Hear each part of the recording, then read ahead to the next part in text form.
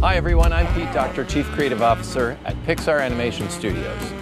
For more than 30 years, I've had the extreme privilege of telling stories and creating characters who got their start on the big screen and have now stepped out into the real world to bring joy to our guests at Disney parks and Disney Cruise Line.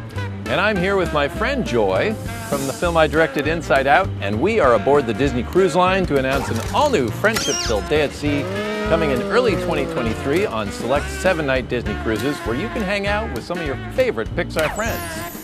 I am filled with joy knowing that the stories we tell at Pixar are beloved by so many and that they'll be celebrated where friendship meets family on Disney Cruise Line. Happy sailing, adventure is out there!